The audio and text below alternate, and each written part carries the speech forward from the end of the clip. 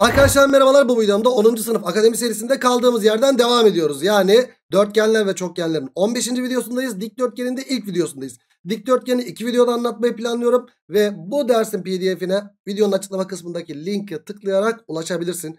Çıktısını aldın. Kağıtlar önünde hazır. Kalemin de hazır. En önemlisi sen de hazırsan hadi bakalım dersimize başlayalım.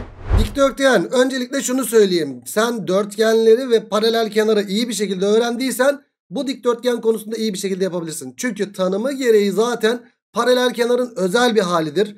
Ve ekstradan bir 90 derece var. Mesela paralel kenarda ne yapıyorduk biz? Hocam böyle paralel kenarda köşegenler birbirini ortalıyor. Burada da ortalıyor. Paralel kenardaki tüm özellikler burada da geçerli. Sonra paralel kenarda ne yapıyorduk? Mesela ekstra bir oranlama oranlama olunca ne yapıyorduk? Benzerlik mezerlik karşımıza çıkıyordu. Kelebek benzerliği ve temel orantı karşımıza çıkıyordu. Ve burada da ayrıyetten ne olacak? Ekstra bir 90 derece var ya burada. 90 derece olduğundan dolayı alfa beta benzerliğiyle de çok uğraşacağız burada. Haberin olsun. Yani üçgen benzerliği de işin içine tam anlamıyla burada girmiş oluyor. Öncelikle bakalım özellikle yazmışız ama e, tanımını şurada vermişiz. Özelliğin içinde vermişiz. Açıları 90'ar derece olan paralel kenara dikdörtgen denir. Paralel kenarın özel bir hali. Paralel kenardaki tüm özellikler burada geçerli. Sadece uzunlukla ilgili değil. Paralel kenarda mesela bu alan tüm alanın yarısıydı. Ee, burada da geçerli. Sonra paralel kenarda şöyle bir şey yapıyorduk. Şöyle oranlamalar olunca ne yapıyorduk arkadaşlar? Ya bunu uzatıp kelebek oluşturuyorduk ya da içeri doğru paralel çiziyorduk. Aynı mantıklar yine burada geçerli mi geçerli. Ha ekstra 90 derece varsa sadece alfa beta'ya dalacağız. Haberin olsun onu da biraz önce söylemiştim zaten. Madem paralel kenarın özelliklerini taşıyor. Köşegenler birbirini ortalıyordu. Bak burada ayrıyetten göstereyim ben sana. Şurada köşegenler birbirini ortalıyor değil mi? Hocam şunlar birbirine eşit. E burası 90 derece olduğundan dolayı 90'dan çizilen kenar ortay muhteşem üçlü oluşturur.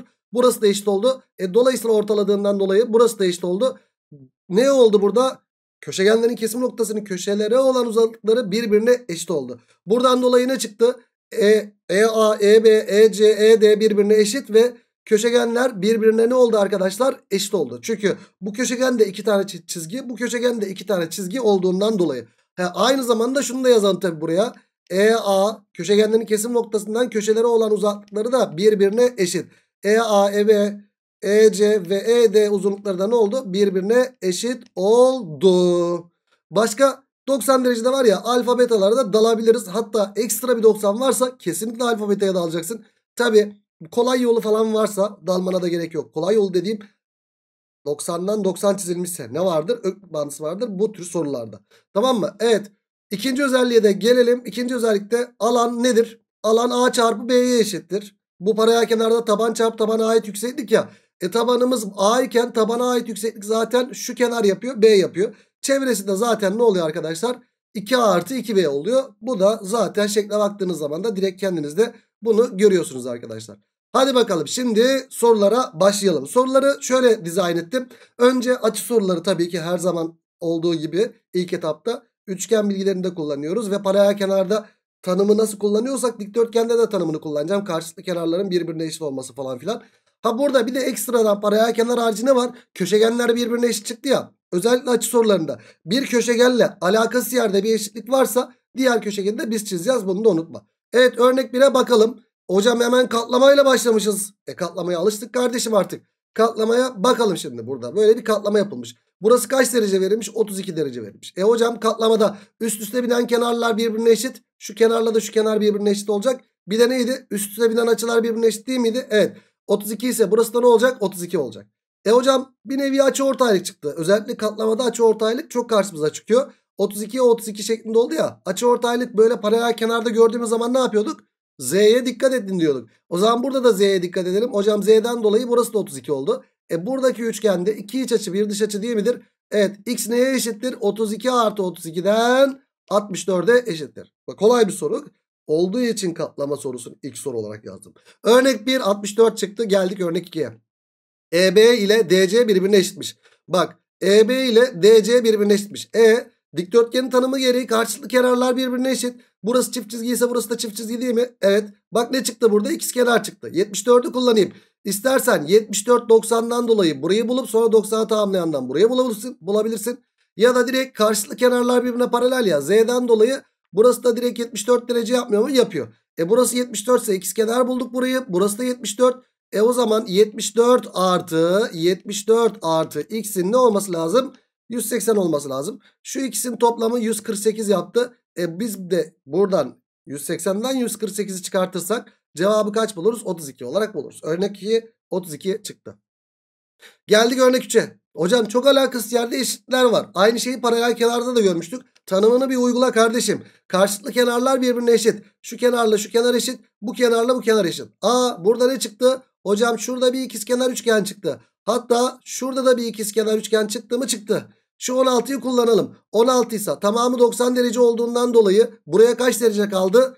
Hocam 74 derece kaldı. E, ikizkenardan dolayı burası da 74'tür. 74 74 148. 148'i 180'e tamamlayan açısı 32'dir. E sonra burası 32 ise bunun tamamı 90 derece olduğundan dolayı buraya kaç derece kalıyor? Hocam buraya da 58 derece kaldı. 58 ise burası da 58 yapar.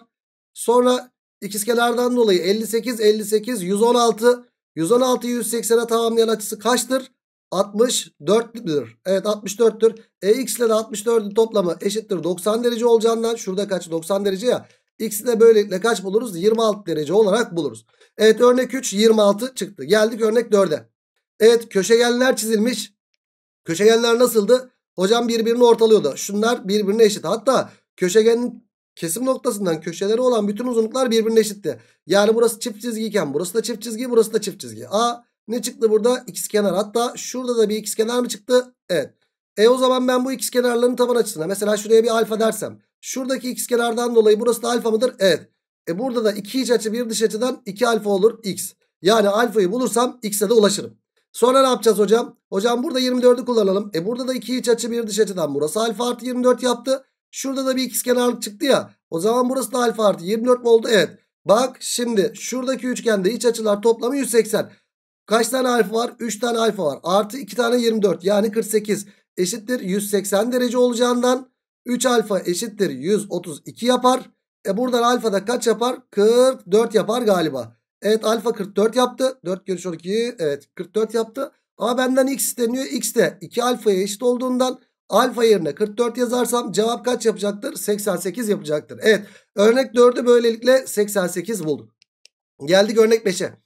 Şimdi ne demiş burada? AC ile DE birbirine eşit verilmiş. Bak şimdi. Şu köşegenle DE eşit verilmiş. Alakası yerde bir eşitlik var. Hocam şu köşegen ya. Bak dikkat et. Köşegenle alakası yerde bir eşitlik verilmiş. E köşegenle alakası yerde bir eşitlik verince diğer köşegeni de biz çizelim mutlaka. Mutlaka çizelim. Çünkü köşegenler eşit. Hatta bunu köşegenlere eşit olan tüm dörtgenlerde yapıyoruz. Nerede eşitti bir de köşegenler? İkizkenar yamukta eşitti. Aynı soru tiplemeleri orada da karşımıza gelebiliyor arkadaşlar. İkizkenar yamukta da köşegenler böyle eşit verilmişse alakası yerde de eşit verilmişse daha doğrusu diğer köşegeni de biz çizeceğiz. Hani köşegenle alakası yerde bir eşitlik verilmişse. Aynı şeyi bir sonraki konuda da yapacağız. Nerede? Karede de yapacağız. Orada da köşegenler birbirine eşit. Tamam şimdi burada köşegenlerin eşitliğini gösterelim hocam. Şunla şu birbirine eşit ya. Aa hocam şurada bir ikizkenarlık çıktı. E olay bitti o zaman. İkizkenar üçgeni kullanacağım. Şuradaki üçgen ikizkenar üçgen çıktı. Şimdi bu ikizkenarlığı kullanalım. 46 ise burası da kaç yapar? 46 yapar. Niye? Çünkü hocam köşegenler birbirine eşit aynı zamanda kendi çapında şuradaki parçalar da eşit. İkizkenardan dolayı burası 46 yaptı. E o zaman burası kaç yapıyor? 90'a tamamlayan açısı 44 yaptı. E hocam ikizkenarın tepe açısını bulduk 44. Taban açıları da x x 2x artı 44 eşittir. 180'den yapabilirsin ya da x taban açısını nasıl buluyorduk? 180 eksi 44 tepe açısı 44 derece ya. 180'den tepe açısını çıkartıp 2'ye bölünce ikizkenarın taban açısı bulunmuyor muydu? Evet bölü 2. Burası kaç yapıyor? 136 bölü 2 yapıyor. O da kaç yapar? 68 yapar galiba. Evet cevap böylelikle 68 bulduk örnek 5'e. Geldik örnek 6'ya. ABC'de şöyle bir dikdörtgen verilmiş. AE ile DB birbirine eşit verilmiş. Bak yine alakası yerde. Şu köşegenle alakası yerde bir eşitlik var. Ne yapıyoruz? Diğer köşegeni de biz çiziyoruz. Hocam çizelim köşegeni. Çizdik. E köşegenler nedir? Birbirine eşittir. Tamam ne çıktı burada? Köşegenlerin eşitliğini gösterince şurada da bir ikizkenarlık çıktı mı? Çıktı. Bir de şu küçük parçalarda birbirine eşit değil mi? Evet. E hocam 52 ise bak burada kaçı da 52. Sonra bu 52'den 90'a tamamlayan burayı bulabiliriz. Ya da direkt Z'den dolayı burası da 52 derece değil mi? Evet burası da 52 derece. Sonra ne yapacağız? Hocam şu ikizkenar ya bu ikizkenarın taban açısını kullanmak zorundayım ben. İkizkenardaki taban açısı. Şuraya ben alfa dersem burası da alfa değil midir? Evet. 2, bir de 52 var burada bak. 2 iç açı bir dış açı eşit. Yani 2 alfa eşittir 52 ise alfayı buradan kaç buluruz? 26 olarak buluruz. Evet alfa 26 çıktı. E biz x'i bulabilir miyiz? Buluruz tabii ki. E burası 26 ise x de ters açıdan dolayı burası ya. E buradaki dik üçgenden dolayı 26 artı x eşittir 90 olacağından x de böylelikle kaç çıkar? 64 derece olarak çıkar. Yani örnek 6'yı ne bulduk arkadaşlar? 64 bulduk. Evet köşegenle alakası bir yerde bir eşitlik verilince mutlaka köşegeni çiz. Sınavında çıkmaya aday sorulardan biridir. Şimdi uzunluk sorularına gelelim bakalım biraz. 5 12 ise hocam burası nedir? 13'tür. E dikdörtgenin tanımı gereği karşılıklı kenarlar birbirine eşit değil mi? Evet. Hocam 12 ise burası da nedir? 12'dir. E burada ne çıktı o zaman burası? 9 12 15'ten 9 çıktı. Keşke şu 5'i vermeseydik. Neyse. Bizden ne isteniyor? DC isteniyor. Soruyu daha güzel yapabilirmişim ama neyse önemli değil. E, 12'den burası da 12 oldu. E o zaman burada ne çıktı arkadaşlar? Niye 12 oldu bu arada onu da söyleyeyim. Arkadaşlar ben hızlı bir şekilde yazıyorum. Niye? Özel kenarlı üçgenleri biliyorum. En azından bak 5 12 13 8 15 17 9 ondan sonra en baştan başlayayım. 3 4 5 5 12 13 8 15 17 7 24 25'i bilin arkadaşlar. Hatta bir de 1 2 kök 5 üçgeni var. Bunları bilin. 3 4 5'in de 5 katına kadar bilin. Burada e, 12 var 15 var ya aslında bu nedir? Hocam 3'ün 4 katı burası da 3'ün 5 katı ya burası da 3'ün 3 katından geliyor. Ama 3 4 5'in 3 katı 12 15 ise burası da 9'u direkt yazabilme e, şeyin olması lazım. Yani bunları bilmen lazım. Daha kolay ve daha seri hareket edersin. Evet burası 9 çıktı ve ben benden ne isteniyor? X isteniyor. Hocam X de nedir? Şu uzunluk kaç? 14. E o zaman bu uzunluk da kaç yaptı? 14 yaptı. Örnek 7 14 çıktı. Evet geldik örnek 8'e. Hocam 12 ise burası da nedir? 12'dir. E burası yukarısıyla aşağısı da birbirine eşit. X artı 8 burası. E o zaman burası da x artı 8 ve burada Pisagor. Ne yapacaksın? x artı 8'in karesi eşittir. x'in karesi artı 12'nin karesi diyeceksin. İşlem işlem işlemde x'i bulacaksın. Burada ne yaparsın? Sınavda sen bunu aç. Ben olsam ne yaparım? Hocam 12 var. 12 ile ilgili özel üçgenleri düşünürüm. Hissederim yani. Ama bu, bu bütün kenarlar varken hissetme işlemini yapıyorum. 12 ile ilgili 5 12 13 var. X yerine 5 koyarsam 8 5 daha 13 yaptı mı? Yaptı. Yani sen burada işlem yaptığın zaman x'i kaç bulursun? 5 bulursun. E ya da bunu sınavda ne yapacaksın? Açacaksın. Aç. x kare artı birinci ile ikincinin çarpımının iki katı 16x artı 64 eşittir x kare artı 144 yaptı. Hocam burada x kareler gitti. 16x eşittir. Şunu öbür tarafa atınca 80 yaptı. X'i de böylelikle kaç bulduk? 5 bulduk. Tamam ben böyle hissediyorum ama sen buradaki işlemi de aç. Evet örnek 8 5 oldu geldik örnek 9'a. Evet açı ortaylık verilmiş. Hocam Z'ye dikkat edeceğiz. Ama bak açı ortay ne burada? 90'ı açı ortay olarak bölmüş. 45 45 değil mi? Evet Z'ye de gerek yok. 45 90 ise burası da 45 çıktı. E hocam ikizkenar dik üçgen çıktı karşıma. 8 kök ise bunlar ne olacaktır? 8 8 olacaktır. E benden ne isteniyor? Şuradaki uzunluk isteniyor. Yani şurası x isteniyor x. X de neye eşittir? 15'e eşit olur arkadaşlar. Dikdörtgenin tanımı gereği karşılıklı kenarlar birbirine eşit olduğundan. Örnek 9 15 oldu geldik örnek 10'a.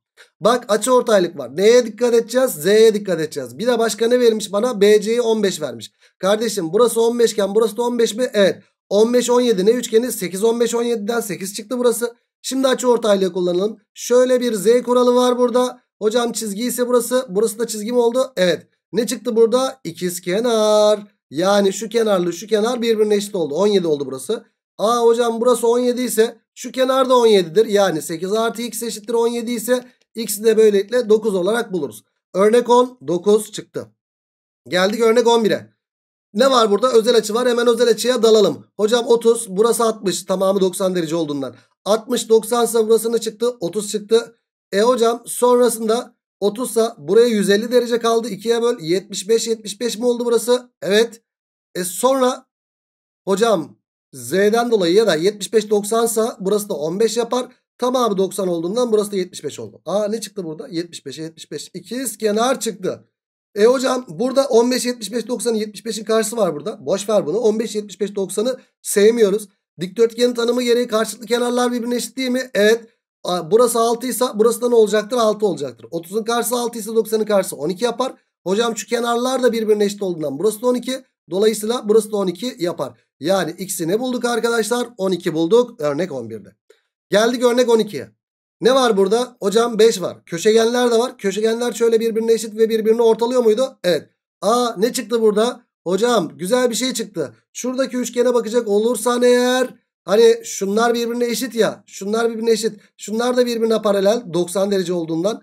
Direkt orta taban mı çıktı burada? Evet. 12 ise 24 çıktı. Yani eski konular yine karşımıza çıkabiliyor arkadaşlar.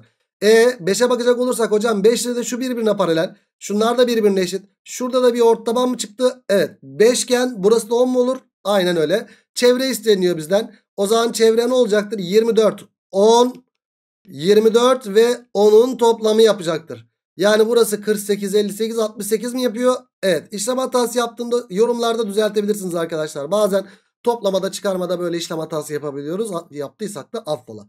Örnek 12, 68 oldu. Geldik örnek 13'e. Hocam şurası kaç verilmiş? 15 verilmiş. Tamam şurası da 15'i yazıyoruz. Tamam şurası 15'i yazdık. E hocam şunlar birbirine eşit verilmiş. O zaman burası da 15. E 90 derece falan filan var. Hocam alfa beta'ya mı girelim? Alfa beta'ya girecek dik şey yok burada arkadaşlar maalesef. Üçgen yok. Dik üçgen yok. E ne yapacağız? Kardeşim bize bir uzunluk verilmişse ya da uzunluk isteniliyorsa ne yapıyorduk? 90 dereceye karşılık getiriyorduk. 90 dereceye karşılık nasıl oluyordu? Dikdörtgene karşılık getirerek olmuyor muydu? Evet. Hocam şuradan şöyle dikdörtgen yapsak sadece burayı 3 buluruz. Burayı 11 buluruz.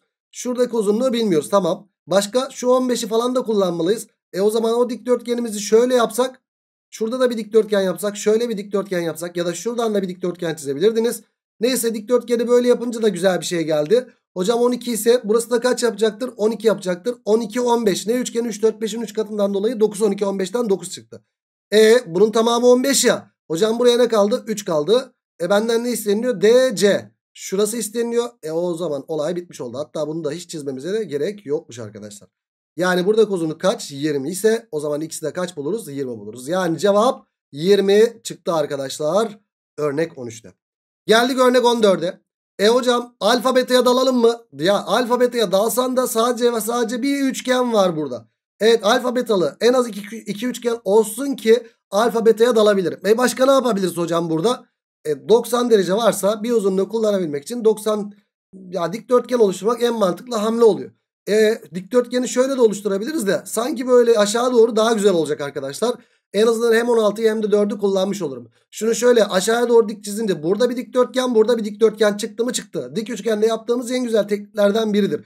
Yani geometrin genelinde yaptığımız en güzel tekniklerden biridir. Yani bir uzunluk varsa uzunluk isteniliyorsa amacımız dik üçgene iki, iki şeyden çıkar. iki konudan çıkar. Ya dik üçgenden çıkar ya benzerlikten. İlk etapta 90 derece karşılık getirmeye çalışırız. O da dikdörtgen yaparak. Oradan çıkmazsa benzerliğe dalırız. Tamam. Buradan devamını getirdin. Hocam dik üçgenler çoğaldı. Alfabeteye dalsak mı? Dur bakalım. 4 ise burası nedir? 4.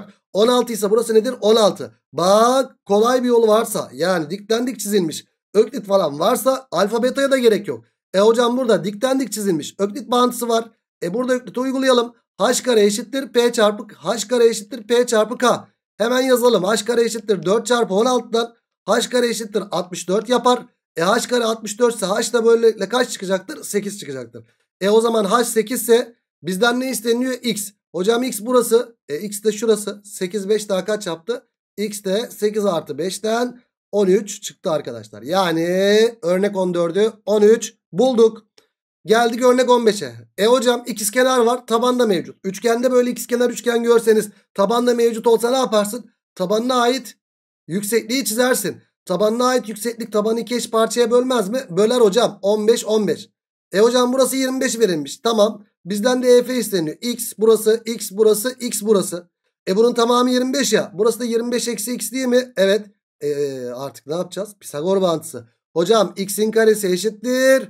15'in karesi artı 25 eksi X'in karesi diyeceğiz. İşlem işlem işlemle X'i bulacaksınız. Sen işlemini yap. Tamam mı? İşte bu kareleri al. X kareler gidiyor. İşlem yapınca zaten sonuç direkt kolay bir şekilde çıkıyor. Ama dik kenarda 15 varsa büyük ihtimal ne üçgendir? Hocam 8, 15, 17 üçgendir. Hissediyorum. Bakalım hissetmem doğru mu? Bunun yerine 17 yazarsam 25 eksi 17'den buraya 8 mi kaldı? Evet sağlaması tuttu. Dolayısıyla x de böylelikle ne çıkar? 17 çıkar. Evet örnek 15'i 17 bulduk. Geldik örnek 16'ya. Hocam uzunluklar verilmiş. E o zaman burada uzunluklarla ilgili bir işlem yapacağım. E köşegenler de verilmiş. Köşegenleri de kullanacağım. Hocam köşegenler birbirine eşit. Aa bak ikizkenar üçgen tabanda mevcut. Burası kaç? 42 değil mi? Evet.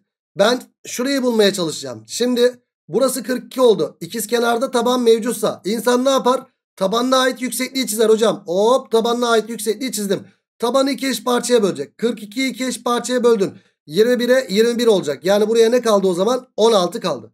Hocam 16 20. Yani dik üçgenin şöyle 16 20 üçgeni var. 16 20 üçgeni ise hocam bu 4'ün 5 katı. Hocam bu 4'ün 4 katı. O zaman burası da 4'ün 3 katından 12 değil midir? Ya da 3 4 5'in 4 katından hocam 12 16 20'den burası 12 çıktı diyebilir miyiz? Evet. Ama benden ne isteniyor? Şurası isteniyor. Şunu bulmak zorundayım ben. E hocam şunlar birbirine eşit. Şunlar birbirine paralel. E burada bir orta taban çıkmadı mı? Çıktı. Eski konular bak benzerlik ya da temalarantı ya da orta taban gibi şeyler hala karşımıza çıkıyor. E o zaman burası 12 ise orta tabandan dolayı burası 24'tür. O zaman çevrede neye eşittir? 42 24 burası. 42 artı 24 burası. Bir daha 42 artı 24 dersek ya da 42 artı 24'ün iki katı dersek cevaba ulaşırız. Hocam 42 42 84 artı 24 24 48 bunları da toplarsam ne yapıyor? 8 4 daha 12 8 4 daha 12 ve 132 mi yaptı? Evet. Arkadaşlar cevabımız böylelikle 16. soruda 132 çıktı. Geldik 17. soruya. Şimdi 9 verilmiş 15 verilmiş ve ben şunu biliyorum yine köşegenler çizilmiş. Şu köşegenlerin eşitlerini şöyle yazayım. Çevre ABCD isteniyor. Ben neyi bulmalıyım? X'i bulmalıyım. Bu soruyu iki farklı şekilde çözeceğim. Bir tanesi bir önceki soruda yaptığım gibi bir tanesi de şu. Arkadaşlar şu dike dikkat eder misiniz? Dik tabanı iki parçaya bölmüş. Aklına ne geldi? Hep söylüyoruz. Dik tabanı iki parçaya bölmüşse nerededir bu? İkizkenar üçgendedir hocam. İkizkenarda. Hatta bu açı ortaydır demiyor muyuz? Evet. Şöyle yükseklik tabanı iki eş parçaya bölmüşse hani şöyle dik tabanı iki eş parçaya bölmüşse aklına ikizkenar gelecek. İkizkenar yoksa bile sen oluştur. Kollarında şöyle ikizkenarı oluşturacaksın. Hocam dik tabanı iki eş parçaya bölmüş ya. Hemen şunu şöyle çizecek olursam yüksekliğin kollarında ikizkenar oluştu. Yani 15 ise burası da ne olacak? 15 olacak. 9, 15 ne üçgeni? 9, 12, 15'ten böyle burayı 12 bulabilirsin. Sonra da çevre çıkar mı? Çıkar. Ya da bir önceki soruda yaptığımız gibi benden neresi isteniyor demiştik. Benden şurası isteniyor. Burayı bulmaya çalışacağım. Hocam ikizkenar üçgen tabanda mevcut mu? Mevcut. Burası kaç? 24. Evet bir önceki yöntemden yapıyorum. Ee, burası 24. Tabanda mevcut olduğu için insan ne yapar? Tabanına ait yüksekliği çizer. Yani 24'ü iki eş parçaya böleceksin. 12, 12. Buraya ne kaldı? 3 kaldı. A 90'ı kullanacağım. Dikten dik çizildi. Ne var burada? Öklit. Öklit uygulayayım. H kare eşittir. 12 çarpı 3 değil midir? Evet 12 çarpı 3. Çünkü bu üçgende öklit var. Burada uyguluyorum. H kare eşittir. 36 geldi. H'ı da böylelikle kaç bulduk? 6 bulduk. Hocam H 6 ise benden burası isteniyordu. E şunlar birbirine eşit. E, dolayısıyla şunlar da birbirine paralel. 6 ise burası da 12 mi geldi? Evet ikinci bir yoldan bu 12'yi de bu şekilde bulmuş olduk. Evet H'ı 12 bulduk. O zaman çevrede ne yapacaktır? 24 burası 12 burası. 24 artı 12 artı 24 artı 12 bana çevreyi verecektir. O da kaç yapıyor? 72 yapıyor. Örnek 17 72 oldu. Ve geldik örnek 18'e. Evet burada ne diyor? Hatta bu son sorum olsun. Dur bakalım. Dur düşünürüz. Devamını getirelim. ABCD dikdörtgeni biçimindeki karton ne diyor? EB boyunca şöyle katlanmış. Arkadaşlar katlamayı gördüğümüz zaman ne yapıyorduk? Hop katlamayı eski haline geri getiriyoruz. Şöyle katlamayı eski haline geri getirdik. Açtık yani. Katlamada burası 8 burası 32 miydi? Evet. Katlamada üst üste binen kenarlar birbirine eşit. Hocam burası 90 zaten burası 90 derece olur. Burası 8 iken burası 8 olur. Sonra şu uzunluk 32 iken bu uzunluk da 32 mi olur? Evet. E sonra ne yapacağız? Katlamada bir de üst üste binen kenarlar birbirine eşit. Üst üste binen açılar da birbirine eşit. Hocam şu açıyla şu açı eşit. Şu açıyla da şu açı eşit ama karışık açıları genelde yazmamayı tercih ediyoruz. E ne çıktı burada? Açı ortaylık çıktı. Hep uyardığım şey. Paraya kenardan beri söylediğim şey. Ne diyoruz? Açı ortaylık varsa Z'ye dikkat. Katlamadan dolayı açı ortaylık geldi. Z'ye dikkat. Hocam burada Z'den dolayı ne oldu burası? Nokta açısı oldu. E bak noktaya nokta çıktı. Yani şu parçayla da şu parça eşit oldu. Benden de alan neresi isteniyor? Alan EF B isteniyor. Şurayı bulursam olay bitti.